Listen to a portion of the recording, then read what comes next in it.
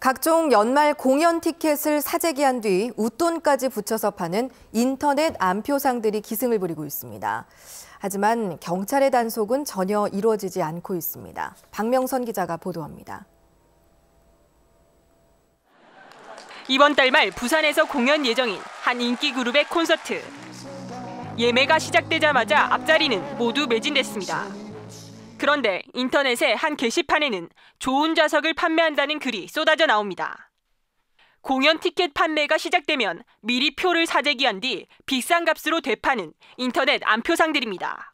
얼마 정도에 살 수 있나요?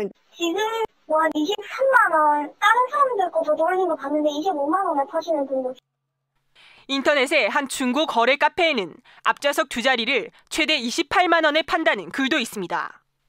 정상가 두 장 가격이 19만 8천 원인데 8만 원 이상 웃돈을 얹어 팔고 있는 것입니다.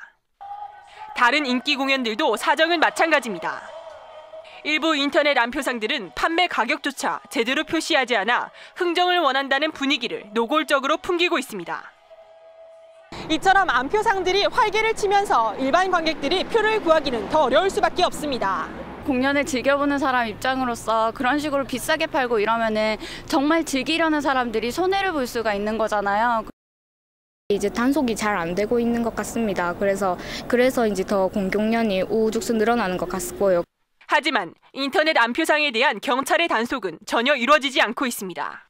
인터넷으로는 저희가 사실은 실제로 거래하고 이런 거를 적발하기가 어렵기 때문에 단속을 저희가 지금 안 하고 있는 걸 알고 있습니다. 단속의 허점을 노려 기승을 부리는 인터넷 암표상들.